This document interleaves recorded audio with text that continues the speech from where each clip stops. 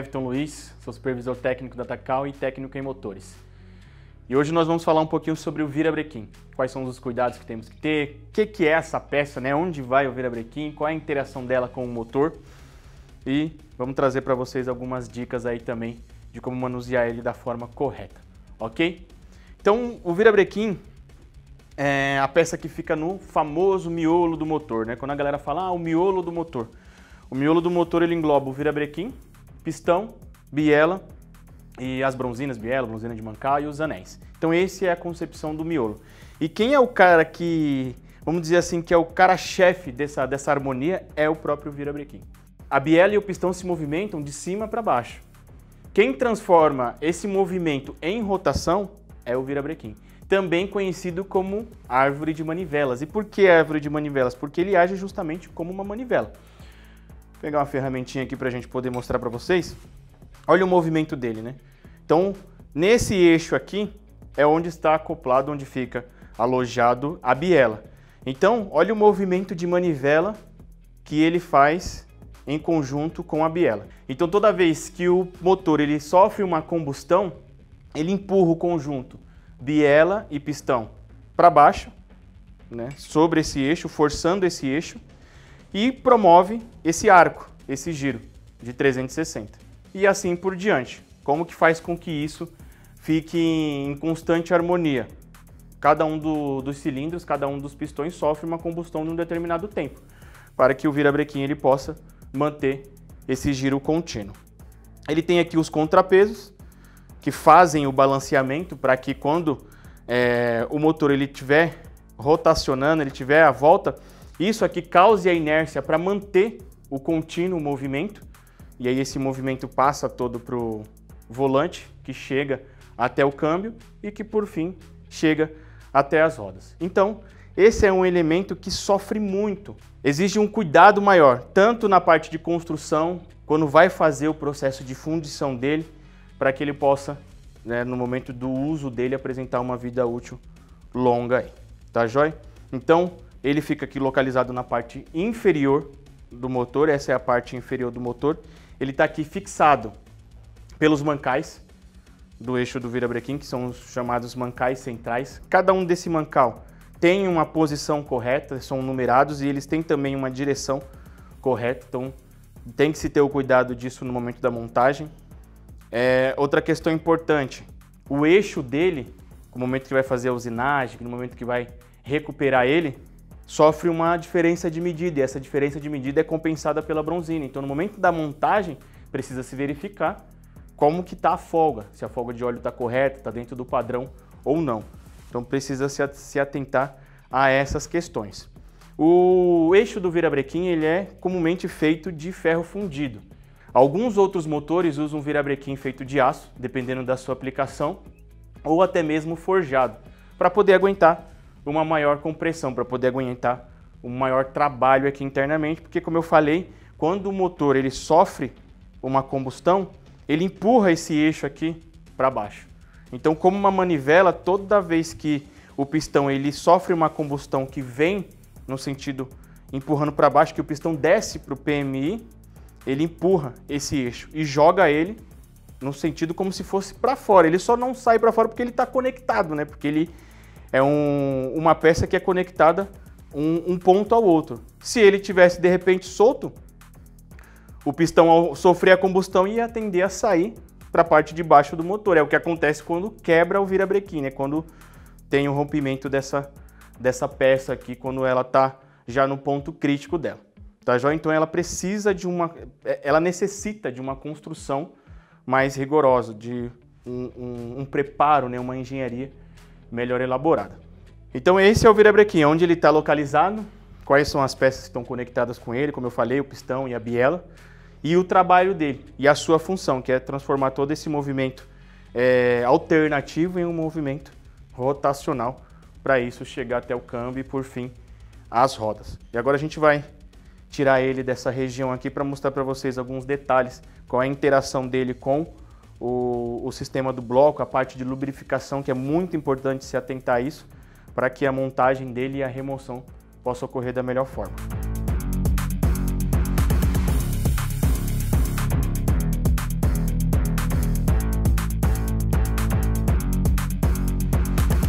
E antes de removê-lo por completo aqui, é uma, um detalhe importante a se atentar no momento da remoção.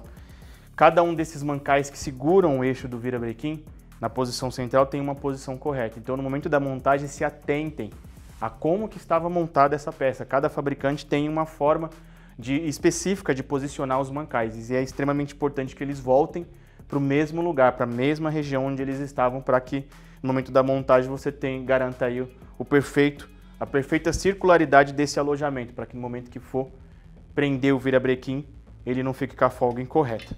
Tá, jóia? Então vamos remover aqui o último mancal. Tirar aqui o virabrequim.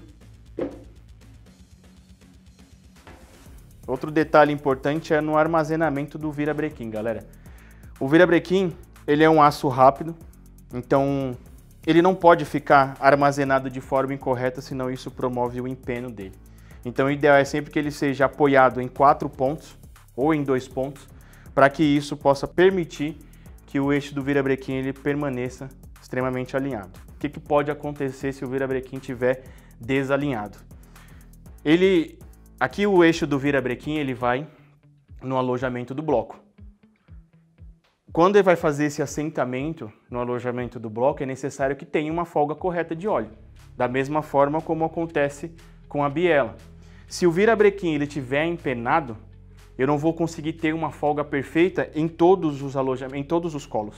Então eu vou ter um colo ou outro que vai restringir a folga, porque ele vai trabalhar de, de maneira desregulada. Ele precisa estar uniforme, perfeitamente assentado sobre a base. Se uma ponta estiver levantada em relação à outra, se eu tiver um desequilíbrio no eixo, eu vou ter menos folga em um dos pontos do colo. E o que, que vai acontecer?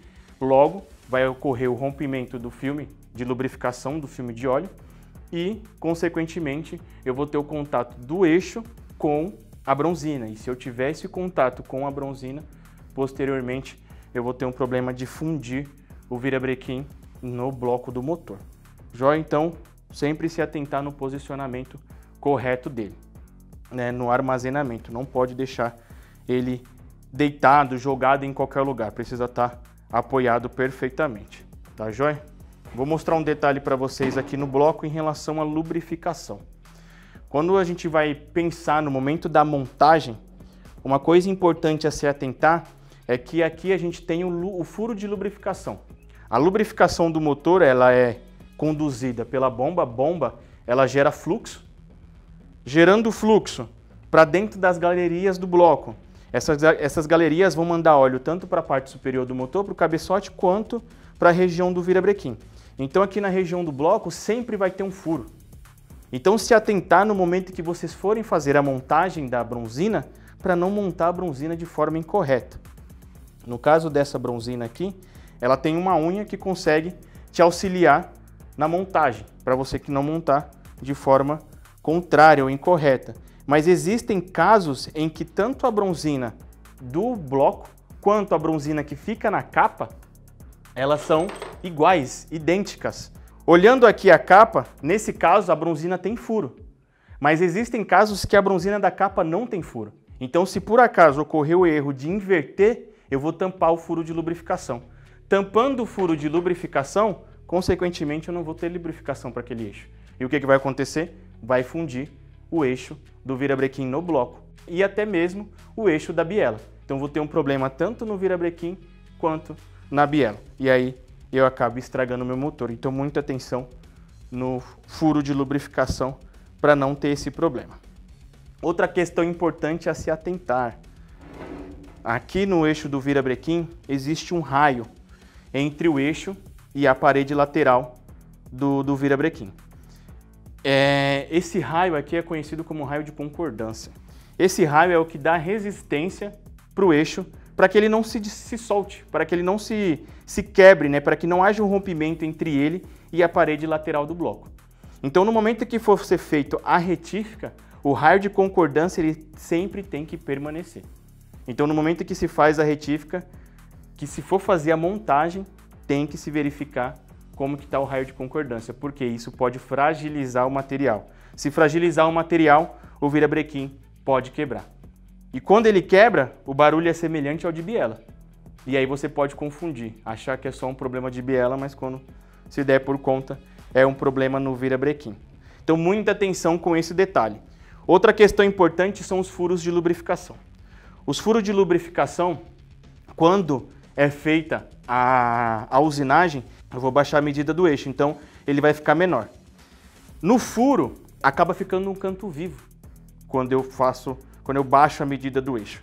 Se esse canto vivo permanecer sem fazer o processo de escariamento, que é tirar esse canto vivo, eu vou ter um problema com as bronzinas.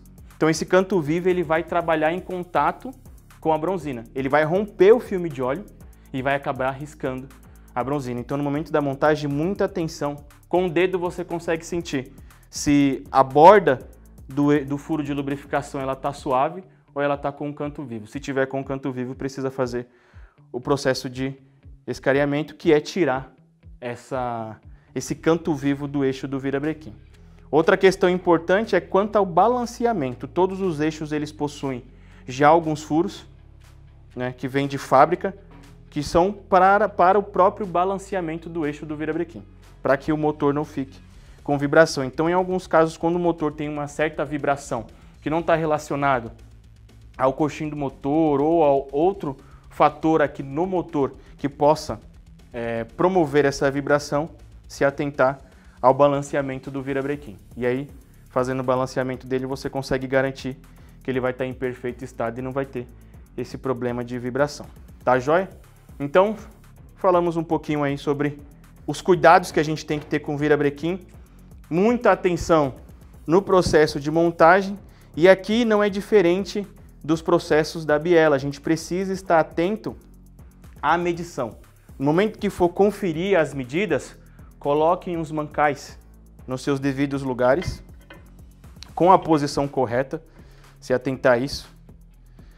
Meça a, a medida do alojamento e compare com a medida do eixo. Essa comparação precisa te dar exatamente a folga de óleo. Tem que estar dentro da tolerância. Se estiver fora, com pouca folga ou com folga demasiada, você vai ter um problema de lubrificação no seu motor e, consequentemente, você vai danificar o virabrequim. E aí, a vida útil do seu virabrequim acaba diminuindo. Essa é uma peça que ela tem uma vida útil longa, mas para ela ter essa vida útil longa, ela depende desses cuidados.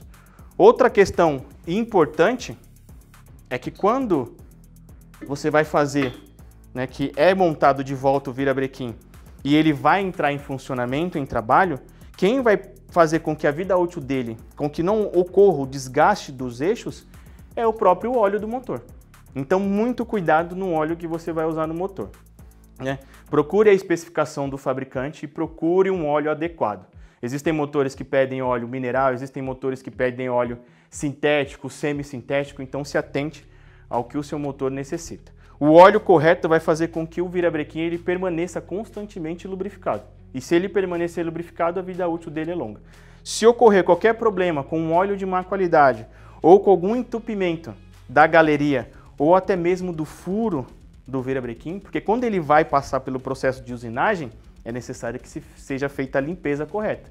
Porque se esse furo estiver obstruído, eu não vou ter lubrificação nem para o eixo e nem para as bielas. Então, consequentemente, eu vou detonar o meu virabrequim. E aí a vida útil dele diminui. Então muita atenção, foi fazer a montagem, verifica o posicionamento correto do, do mancal para que no momento da montagem você consiga garantir que ele vai estar tá perfeito. Porque depois que montou essa parte de baixo, o restante é mais tranquilo para montar. E se você tiver que voltar aqui por ter esquecido algo, você vai ter que desfazer e desmontar o motor por completo.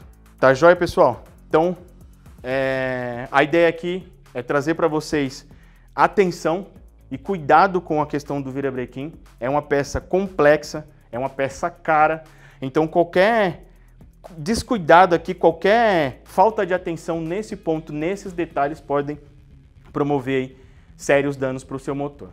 Tá joia? Então, agradeço a atenção de todos. Não se esqueça, né? Curta esse vídeo, se inscreve no canal, ativa o sininho lá para que você receba sempre quando estiver saindo vídeos novos e indique esse vídeo para os seus amigos que estão montando motores sem esses cuidados, que estão deixando o virabrequim jogado para um lado, para o outro e que não estão tendo a atenção correta que esse item merece.